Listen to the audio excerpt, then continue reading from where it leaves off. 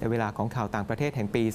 2559 แล้วนะครับ ปีนี้มีการเลือกตั้งเกิดขึ้นในหลายประเทศนะครับ แต่ว่าที่มีสีสันมากที่สุดก็คงหนีไม่พ้นการเลือกตั้งประธานาธิบดีของสหรัฐอเมริกาที่ได้ว่าที่ผู้นำคนใหม่ อย่างนายโดนัลด์ทรัมป์ ส่วนภูมิภาคอาเซียนของเราครับก็ได้ผู้นำที่มีลักษณะที่คล้ายคลึงกัน อย่างประธานาธิบดีโรดริโกดูแตร์เตแห่งฟิลิปปินส์ติดตามได้จากรายงานครับ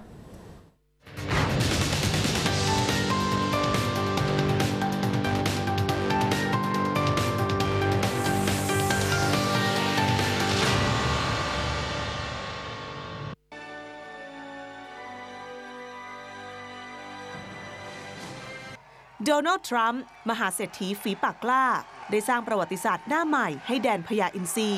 ด้วยการเป็นนักธุรกิจที่ไม่เคยยุ่งเกี่ยวกับวงการการเมือง และสามารถคว้าชัยในการเลือกตั้งประธานาธิบดีสหรัฐ ในศึกทำเนียบขาว เมื่อเดือนพฤศจิกายนได้อย่างไม่คาดฝัน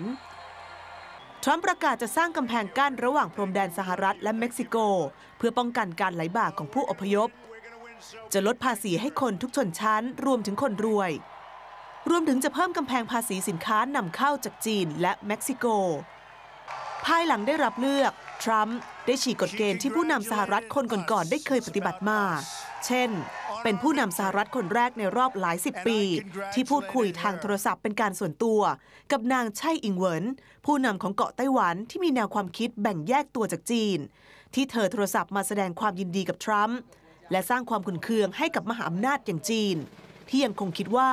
ไต้หวันคือส่วนหนึ่งของจีน ทรัมป์ได้เดินหน้าประกาศรายชื่อบุคคลในคอรมอทรัมป์หนึ่งแล้วบางส่วน หนึ่งในนั้นคือรัฐมนตรีว่าการกระทรวงการต่างประเทศ ที่รับตำแหน่งโดย Rex Tillerson CEO ของบริษัท ExxonMobil บริษัทน้ำมันยักษ์ใหญ่ของโลก ผู้ไร้ประสบการณ์ทางการเมืองเช่นกัน แต่ทรัมป์ก็บอกว่าเขาคนนี้เหมาะที่จะเป็นนักการทูตและนักเจรจากับต่างประเทศ และการที่ชื่อของทรัมป์ปรากฏตัวอยู่แทบจะทุกสำนักข่าวในแทบจะทุกวัน จึงทำให้นิตยสารไทม์ได้ประกาศให้โดนัลด์ทรัมป์ว่าที่ประธานาธิบดีคนที่ 45 ของสหรัฐ เป็นบุคคลแห่งปีประจำปี 2016 ด้วยพาดหัวว่า โดนัลด์ทรัมป์ประธานาธิบดีแห่งสหรัฐอเมริกาที่แบ่งแยก แต่ไม่เพียงว่าที่ผู้นำสหรัฐที่เป็นข่าวเกือบทุกวัน ประธานาธิบดีโรดริโกดูแตร์เตผู้นำของฟิลิปปินส์ก็ปรากฏเป็นข่าวแทบจะรายวันเช่นกันจากนายกเทศมนตรีเมืองดาเวาและมีผลงานการปราบปรามอาชญากรยาเสพติดที่เป็นรูปธรรม จึงทำให้เขาชนะการเลือกตั้งไปอย่างง่ายดายด้วยชาวปีนอยหวังอย่างยิ่ง ว่าเขาจะสามารถกอบกู้สถานการณ์ยาเสพติดที่กำลังย่ำแย่ของประเทศลงได้